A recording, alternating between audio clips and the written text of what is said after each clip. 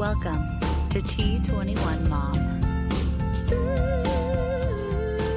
Welcome to the T21 Mom podcast, where we celebrate life's unexpected twists and turns. And this is episode 123. I'm Mary, mom to Ainsley, an 11 year old with Down syndrome and autism, and I am living life my way. Today we have Shelli DeGroot sharing her inspiring diagnosis story of a surprise pregnancy after getting her tubes tied and how that little extra chromosome has brought so much joy and growth into her world. Let's go have a listen. Today on the T21 Mom podcast, we are continuing our series on diagnosis stories. I have been chatting with lots of moms, and the stories are all so varied. It's really, truly wonderful. Today, I'm sh- chatting with Shelli DeGroot. Welcome, Shelli. Hi, thank you, Mary. Thanks for having me today. You're very welcome. So, before we kind of get started on your diagnosis story, do you want to share a little bit about you and your family? Sure. We are from Southwest Minnesota, very rural farming community. My husband is a farmer. Okay. And we have four children. Connor is our youngest, and he has Down syndrome, and he was later diagnosed with autism as well. Mhm. Uh, our other three children are a little bit older. They're all adults, they're married, and they all have children. So Connor is an uncle to four nieces and nephews as well. Oh, fantastic. And how old is Connor now? Connor is 18 now. Okay. And my daughter also has the dual diagnosis. How old was Connor when he got that secondary diagnosis? Officially, he was like seven. I had been suspecting it earlier, but yeah, Yeah, that's often had the to, case. had to kind of push for testing and this kind of stuff. And yeah, uh, Yes, I I've heard that a lot, especially with kids that are kind of more like Connor's age and a little bit older. I think maybe like my daughter's 11, but I'm thinking now it's starting to become more recognized that there is the mm. possibility that, you know, because it's actually fairly common. It's almost 20% of our kids have that dual Wow. diagnosis. So, yeah, I think it's about 18 18 to 19%. I mean, it obviously depends on what studies you're looking at, but for the most part, what I've heard is around that, which is, you know, pretty high, much higher than the typical population. So, and that's a Okay. whole journey in itself, the whole autism diagnosis, as I'm sure you know. Yes. As you said, Connor is your last child, and he, he's obviously rocking a little bit extra. And he definitely had you on your toes from day one. Do you want to share that story that you shared with me? Sure. So, having had our other three children when I was in, well, we, Lauren and I are the same age, we're in our 20s and early 30s. We had decided that our family was complete and that, you know, we didn't want to be one of these people having this later on pregnancy thing happen. So, we, I kind of thought he could have a vasectomy. He didn't want to. So, I'm like, okay, I'll have my tubes tied. And I went to this OBGYN specialist that had an opening and I didn't really know him. And I had asked a few questions and he had said, now make sure that you really want to do this because you can't just assume it would be reversible or whatever. You know, he asked me several times, are you, you know, sure this is what you want to do? Your family is complete. And I said, yes. And okay, so we had the procedure. And so fast forward a couple years later, I all of a sudden started feeling pregnant, having had three before. And I I bought a test. I took Mhm. it and it was positive. And I was I was just in disbelief, but yet I, I I knew what my body felt like, right? And I Mhm. called my best friend. My husband had ironically just left on a work slash mission trip that day. And so I called my best friend and I was like all shook up and she's like, Shelli, take another test. It can't be, you know? so a total of four tests were, were taken over the la- over that weekend. And by Monday morning, I called the clinic and uh, they said, you need to come in. Um, so I came in, they did a test, came back positive, And then they wanted to do an ultrasound because they said having had my tubes tied put me at a lot, lot bigger chance of having a tubal pregnancy, which they needed to find out. Oh, interesting. Um, okay. But there he was, or there the baby was, right Mhm. in the uterus where it was supposed to be. And um, so I was like, oh my goodness, this is happening. So uh, anyway, I uh, it was quite a shock to say the least. But I, I, mean, once I got used to the idea, I, I was a little bit excited. Like, okay, God is giving me one more chance to, you Mhm. know, be pregnant and have a baby and whatever. But I was 39 and a half when this was happening here. So, um, Wow. So, what were you thinking? Like, for test, well, fifth, when you go to the clinic, yeah. like, were you thinking, this can't be happening? Or, like, did you ever call that doctor back and let them know, "Mm, didn't work? Like, what was going through your head? Because usually, you know, when you're going to those extremes, you know, to either have a vasectomy or in your case, your tubes tied, those are generally pretty permanent. Although I have heard of a number of cases, not a number, but when I was posting about like asking for the diagnosis stories, I actually heard a few similar to yours, uh, like where the Mhm. vasectomies didn't work. So, you know, I guess nothing is really a for sure thing. But what were you thinking when you learned that you're pregnant and you know you weren't expecting this at all? You thought you were done. Well, my very first, I had I had several thoughts. I'm kind of a an anxious type of worrisome person by nature, and I first thought, is my husband going to be very upset? You know, is he going to be a you know, which he's pretty calm, laid back guy. So I don't know why I worried about that, but I don't know. And then I was afraid that my teenagers would be embarrassed Mm, frankly. Like, you mhm. know, wow, you know, here's my our old mom having a baby, you know, or whatever. But they didn't seem too upset by it. And I I don't think it took me too long to adjust to the idea of having a baby again. But I think it was more so I, I was well, when he was born with Down syndrome, that was when I was upset. You Mm. know, if if that makes sense. Mhm. But Wow. Yeah. Cause you've got kind of like almost like two double whammies for this. Right. You know, like right. he's an unexpected baby. And then, of course, you get the unexpected diagnosis, which we'll get into it briefly. So right. while we were chatting back and forth, you mentioned that you were, quote, nervous about Down syndrome. Mhm. Why was that? I mean, you're 39 and a half, but to be honest, right now, that's not that uncommon these days for people to be having babies. So, you know, what what made you nervous about it? Oh, just I guess some of the people I knew that had Down syndrome seemed to have older mothers. Yeah, I don't know. I, I was I would I would try to pacify the worry by like looking up statistics, right? And you know, I, I don't recall right offhand, but I think by age 39, when which I was when I had him, you know, maybe the chances were like one in 120 or one Mhm. I, I don't remember 140. And I remember telling myself, you know, well, look, that's, you know, over 99% chance I won't, you know, have a baby with Down syndrome. So I tried to pacify myself like that. But, and ironically, when I, after that day when they did the ultrasound and said he was in my uterus, then uh, my doctor wasn't available that day. And so they said, we want you to see your doctor, you know, and they made up an, made an appointment for like five, four days later. And as I walked into the clinic area with the nurse, this elderly couple with a daughter with quite a severe disability was walking into a different office at the same time. And I, my heart just kind of sank. And I thought, what if that would be me? You know, I, Mhm. I don't know. Mhm. I, I just, I was fearful, fearful of it. So know. Mhm. Do you think you kind of had like a sixth sense, maybe, that your child would be born with Down syndrome?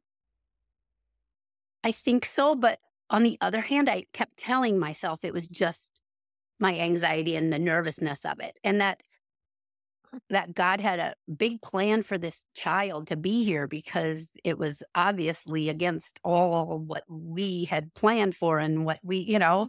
So I w- I just kept kind of pacifying myself by saying, you know, God's got this. You know, God is in control of this pregnancy and this baby will be fine. And just got, has good, you know, big plans for this child.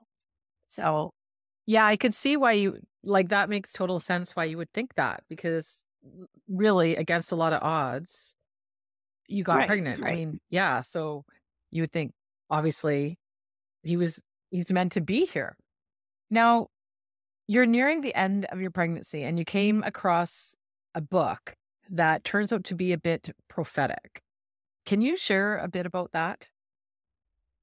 Yes, I was feeling big and tired and old, right? The last month of my pregnancy. So I had found a book series from our church library and spent a lot of time just relaxing on the couch, you know, right? Putting my feet up and whatever and reading. And it was a author named Roxanne Henke. She was from North Dakota, kind of farm country, and she wrote her characters and her storylines were in North Dakota, and I could kind of relate to some of that. And anyway, there was a couple in the in the series that found out they were having a baby later in life, around age forty, and in that particular instance, it was different than my husband. That the husband in the book was upset; he was not happy that this was happening, or whatever. Um, but then all of a sudden I'm reading and the baby is being born, right? And then suddenly after the baby was born, instead of everybody in the room being all happy and elated and everything, Ms. Roxanne Henke was writing things about the hushed tones of the doctor and nurses. And then she went on to describe the baby, the mm-hmm. characteristics. And she started saying, writing things like a very flat bridge or a almond shaped eyes, hallmark teeth in the hand, low set small ears. And right then I just I knew it. I thought this baby has Down syndrome. And I I honestly almost tossed the book across the room. I, I like shut it and mm-hmm. put it aside and I thought, Shelli, this is this is not what you need to read right now. Mm-hmm. Is this just the devil trying to make you worry. You know, I had all these weird thoughts. But then later the curiosity got to me. I kind of had to know how the book ended. And uh, I did finish the rest of the book. But yeah, that was that was interesting to me and how it ended up coming about in my life. Like it's almost like it was trying to prepare you, do you think? Oh, I, I definitely think that. Definitely. Mm-hmm. Obviously, like it kind of really sounded like it kind of mirrored your life, except in the book, the husband wasn't very happy about it. Right. You know, and then, you know, after reading it, like I know you were still thinking, okay, it's like 99% chance it's fine. But, right. Did it kind of, I guess, increase your anxiety that this could happen to you? Mm, yeah, if I want to, yeah, if I'm being honest, yeah, I'm sure I spent some some time awake during the nights there worrying whether that would happen to me. I think the biggest connection about that book was that within the first five minutes of me holding Connor, I just knew it. I knew it from the description of the book. You know, I helped the nurses had been working on him in the little isolette thing or the warmer or whatever. Lauren was over there watching. And I don't know, the doctor was tending to me. And they placed him in my arms. And just like that, everybody left. The nurses left, and the doctor was called away to a another delivery he needed to assist at right next door. And it was just Lauren and I. And Lauren walked over by me, and I looked down at Connor, and right then he opened his eyes and looked up at me. And I thought, are his eyes almond shaped? And then I took his little hand and I opened it and I thought to myself, I don't see a crease there. Mm-hmm. And then I opened his other little hand and I thought, no, I, there's no crease there. And I kind of dismissed it. And then he shut his little eyes and I thought, he looks fine. He's he's fine. He's just a big baby and he's kind of puffy because he was like 10 pounds. Wow. And he had this big round face, mm-hmm. which I now know is probably because of the low tone oh, or whatever. Yeah. But but then he had a little beanie on that those newborns have on, right? To mm-hmm. keep their heat in. And I lifted up the beanie a little bit and I looked at his ears or one, one of his ears and I thought, they're little. They're little and low set. And then he looked at me again. And then I looked at my husband and said, I think there's something wrong here. Like, I think that's what I said. And he said, um, Are you looking at his eyes? He said, I know. He had been watching when the nurses were working on him already, right? And if I felt then like my world just came crashing right there because my husband is super optimistic and laid back. Mm-hmm. And what I wanted him to say so badly was, Oh, he's fine. Yeah. Shelli, you're just worried. He's fine. But he didn't, you know? So then I knew. I knew it wasn't just me making this up in my mind. I just, I just knew, which I think is okay. I think because we knew right away, we didn't have to have some stranger, some specialist come walking in and drop a bomb on us. You know, we Mhm. got to discuss it with, you know, the, a nurse came in shortly after that. And I said to her, we have some concerns about, do you think he has Down syndrome? And we told, you know, the reasons. And of course, being a nurse, she, she couldn't say much. She just said, I'll have the doctor come talk to you when he's finished. And then I think in the meanwhile, he, I don't know if they took Connor away to in the isolette, but then I think he had a chance to examine him a little bit. Mhm. And then he came in and he just said, Yeah, I, I see those same things that you do. And, you know, he kind of obviously couldn't say 100% without the chromosomal testing, but Mhm. he, he kind of confirmed. And so we knew, we knew. And, and that evening we, we told our families and uh, that kind of thing too. But yeah, I had, well, there's one precious thing I- that I always will remember. My dad, he's been gone 12 years now. So Connor only had him for six years. But when we told my dad, instead of him saying, oh, you know, or, or being sad, he said, we'll just have to love him all the more. And that was so Oh. precious. Just, I, I just cling to that. It's just so, so precious to have that Mhm. response from him. Oh, that's amazing. Yeah. So, you and your husband, like before anyone's even told you, you've pretty much are pretty much confirmed that he has Down syndrome. Like you mentioned that you have a strong faith. Like, what was that like for you in that moment? Like, you already have, sorry, three three other kids, right? And right, right.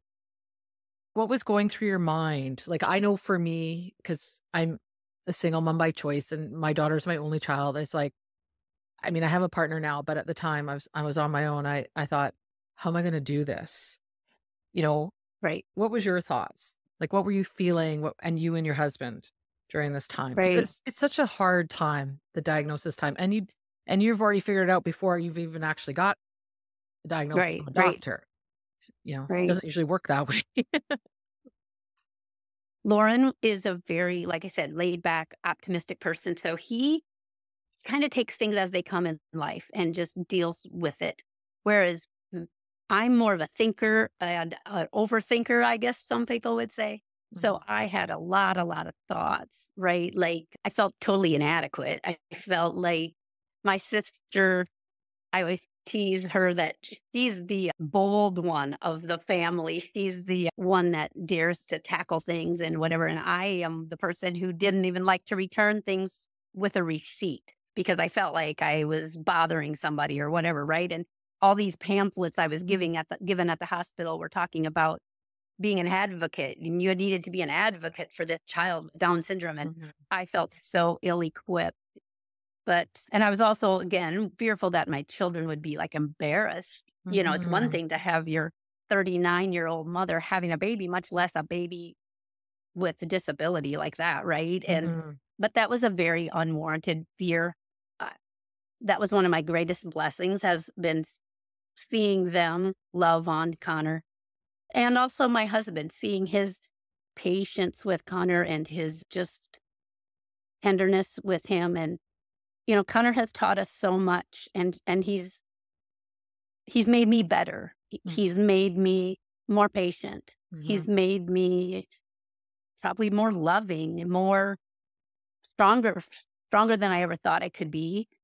Not saying it's been easy by any Mhm. means, especially puberty was I mean, the teen years have been hard. Okay. Um, not to freak you out, but we had issues where he, for some reason, decided school he didn't want to be there, and uh, you know, it was meetings and meetings and meetings and behavioral specialists, and eventually he ended up going to a an alternative school, like a Fed Four type facility, for the last three semesters, and it it was it's been a little bit rough, but at the same time, it probably bonded Lauren and I even more to, Mhm.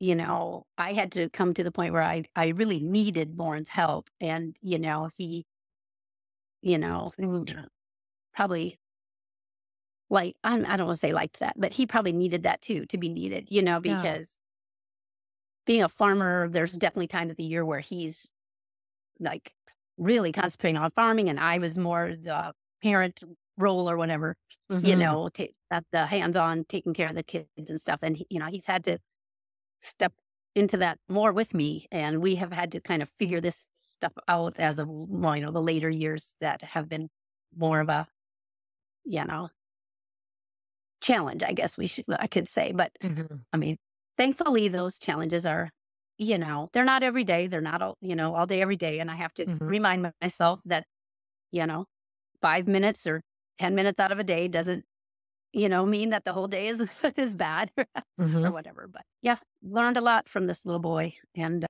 he touched a lot of lives. You know, I Mhm. look back and think, you know, I thought God had really great plans for this baby. And I really do think he did. He, and he does Mhm. they're just different than what I probably thought they were going to be. You know, Mhm. Connor is touching lives. I've had many people say, you know, how much they've learned from him when they've been working with him, or, you know, how much they've touched, how much they've been touched by him. And yeah, Connor, he shakes all the people's hands in church when they leave church. That's become his new, his assignment. He, he just goes out and does it. And he's loved by a lot of people. And I remind myself of that when, when on the hard days, it's like Mhm. Connor is happy Mhm. mostly happy and he's loved. And isn't that what we're all wanting in life, you know, or striving for in many ways? So, Oh, that's so wonderful. And what is his relationship like with his siblings? Because they're a little bit older and right. like do they would they advocate for him or you know because sometimes it Mhm. can be a real challenge when you have your older siblings because you know like it's not cool or or what have you right, Right. and that and it, that's a tough place to be when you have a sibling i think with some extra challenges and and things like that but what is his relationship like with his siblings Very good. They, like when we were having some challenges with him at school, like big brother, he's the oldest. He was in on like a phone, like he was a part of the IEP meeting uh, via phone, even though he lived four hours away. Mhm. his sister, the one that's right above him, well, right above him, seven years older, she is a special ed teacher and Mm. she has come physically to meetings because she doesn't live quite as far away. She lives just like an hour away and given me like, you know, tips and different things like that. And they're all really, really good with him. Our other daughter is really good with details and money and that kind of thing. So we already have her down as, you know, somebody who would help with that kind of thing if, if Lauren and I aren't here. And yeah, so that kind of thing. And and now that they're teaching their children to be accepting and loving of people with disabilities. And, you know, they're really they're glad that their kids have that, have Uncle Connor in their lives Mhm. to to teach them that. And Connor is really loving toward them. He but he loves on them and then he goes and ciphers away because I think the autism part of him needs to be be away sometimes. But Mhm. but he really does really love them and they do and they love him too. And the oldest one is four and she she already knows that Connor has you know special needs and she'll take him by the hand and Aw. come on Connor come with me and she'll lead him over to you know that kind of thing. It's really precious. It's it's really precious. And I didn't have that was one worry I I didn't have to have is that they would be embarrassed or and they're not resentful about Mhm. you know time maybe that I had to give Connor when they were you know busy with teenage things and whatever. You know, I, I we really tried our best, you know, but obviously, you know, Connor took up a certain amount of time and energy and um but Oh, yeah. That's so wonderful to hear. I'm just curious. You said in the beginning that you're kind of kind of rural. How was your access Mhm. to services for Connor? Like, was it challenging? Somewhat. I mean, yeah, his school system was small, is, well, was, I guess he's finished his school now, was small. I mean, I'm sure the school K through 12 is only like 350 students or something like that. It's relatively small. And it's about 15 minutes away, so not so far away. Um, but yeah, I guess because his diagnosis was late and I didn't even know where to begin looking, like I feel like we kind of missed that window maybe of like ABA, that kind of thing. And I don't know enough about it to know if it would have been helpful really or not in Connor's case. But he, hey, you know, he he was able to have all the services, you know, the you know, the OT, the PT, the speech, the all that kind of thing. Mm. Um, but yeah, I mean, and I like now he goes to music therapy. We bring him there and but it's an hour drive one way to get there. Mhm. Yeah. Um, but uh, he really enjoys that. And I feel like, you know, we took our other kids to sport games and different things like that. You know, we can take Connor to something like this that he enjoys and that it's it's good for him. hmm But yeah, you know, I don't know if you feel this way as a mom of a child with special needs, but I don't know if there's ever going to come a time where you think, like, I did everything that I Mm. could have. You know what I mean? Don't I don't know if we Mhm. if that's the thing we feel that we always wonder, like, Mhm. you know, what if he talked better if I did this? What if he, you know, or do you get to a point where it's like Connor is who Connor is and Mhm. and it's fine. You know, yeah. I think I, there's a mi- mixture of those feelings sometimes. I think it's the mama guilt. I think it doesn't really ever go away. I I have it huge because I mean, I feel bad that Ainsley doesn't have a sibling. So, you know, there's an awful lot of time spent on her iPad on the on YouTube, which I would prefer not. But, you know, I Mhm. also have to get things done. I work full time. So, you know, it's not easy. But, you know, I think you just have to do the best that you can. And I think we're often our harshest critics, uh, us mamas. And, you know, I think we're all just trying to do the best for our kids because obviously we all we all want the best for our kids so it's it's hard some days some days are like you said like are just harder and you know can be frustrating or i just feel guilty i'm sure as you have like you know wish i could have done this that or the other but you know i think we're Right. all i think we're all just you know doing the best that we can and we have to not be so hard on ourselves because it's it's hard you know this is a different journey uh you know and especially with a child with the dual diagnosis you know i find sometimes it's it's very Mhm. isolating it's i'm sure you probably found too and it's it's hard because i often think if she just had down syndrome this would be a lot easier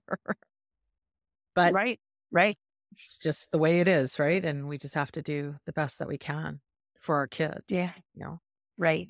now what you know you're 18 years in so you know i'm always looking at the mamas who are ahead of me because you guys have literally are paving the road for us and i thank you mamas for that but what advice would you give someone who has just found out their child has down syndrome either like prenatally or a birth diagnosis because we all know that sometimes that the way it's delivered it can be quite brutal you know but what would you tell somebody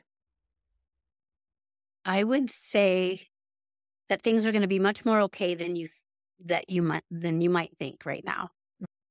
I was quick to catastrophize and you know kind of spiral and it was really hard for me to look into the future. Hmm. And it was so scary and unknown.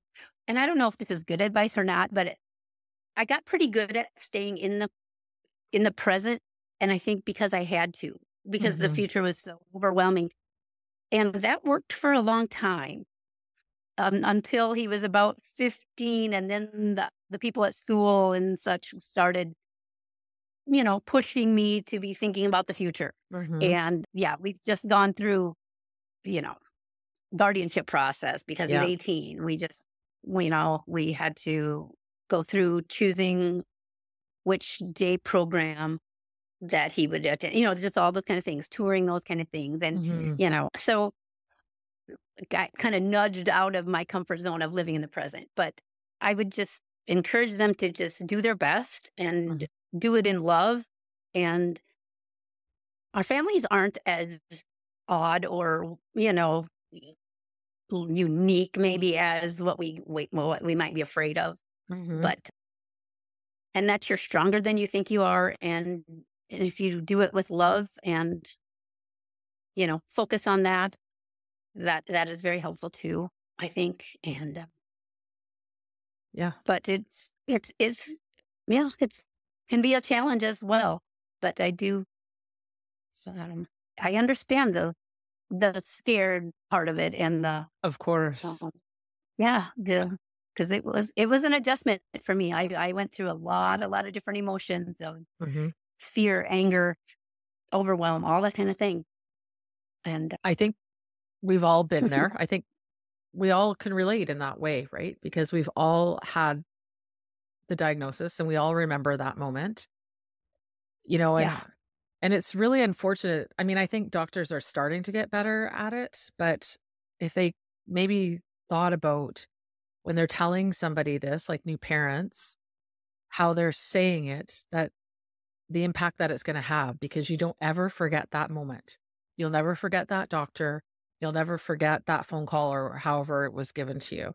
And I don't think a lot of them realize that, that it's, you know, it- yes, it's not necessarily news that we were expecting or wanting, but it's still our child.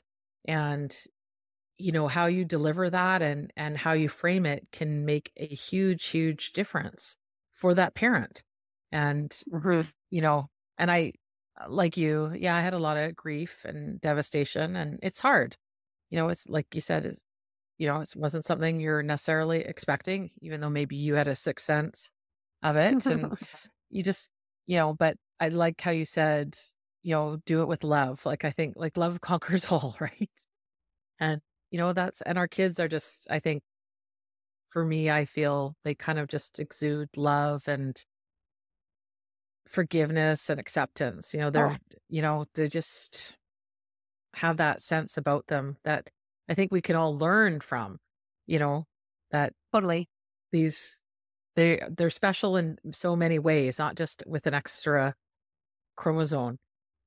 And what would you, you know, if you could go back, is there anything that you would maybe change or do differently? Well, people have asked me, like, you know, would have you liked to have known ahead of mm-hmm. time? Would have you, do you wish you would have done more testing? Would, do you wish, you know, whatever?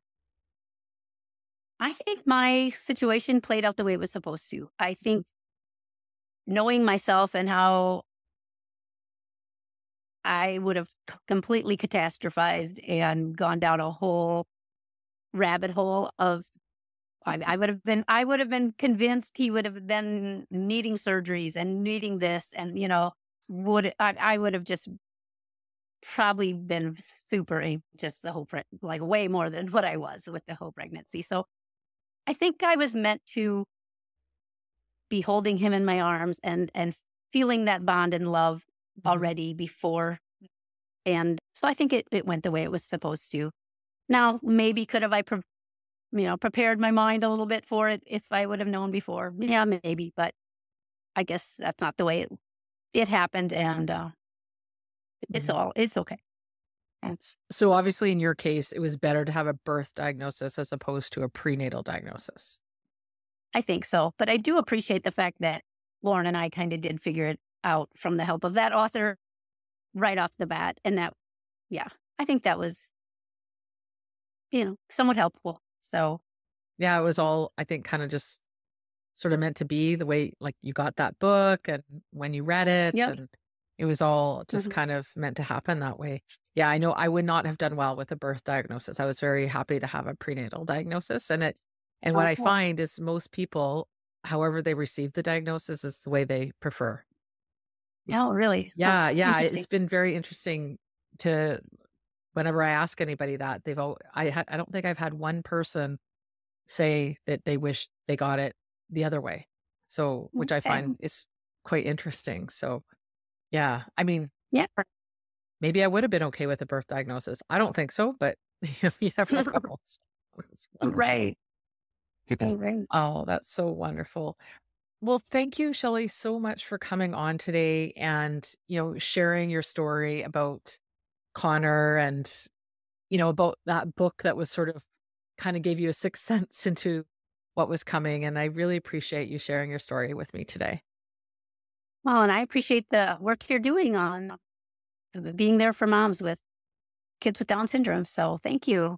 Oh, thank you. You're, yeah, no, I really love doing the podcast and it gives me a lot of joy. And I love meeting other moms like you who, you know, who can share their story because I love to hear other people's stories and they're all so different, which I'm finding just so amazing and, and wonderful. Yeah. Hmm. Well, thank you. You're welcome. Can you imagine finding out you're pregnant after thinking your family is complete and you even have your tubes tied?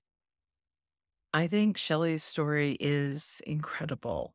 How she not only came to grips that she was unexpectedly pregnant, but then later finds out that her son has an extra chromosome.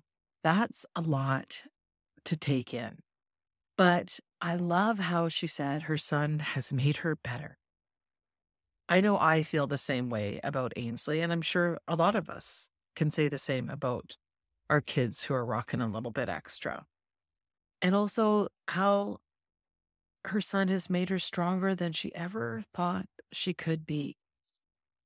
And she also gave such sage advice to stay in the present. So often, I know I do it. We can get caught up worrying about the future when we really should just be more focused on the now.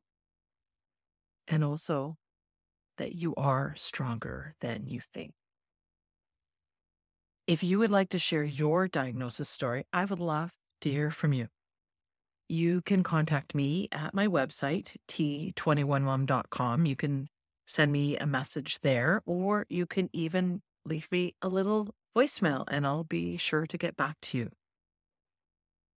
I really hope that you're enjoying these diagnosis stories as much as I have. It's been really wonderful talking to all these different moms and and hearing their story.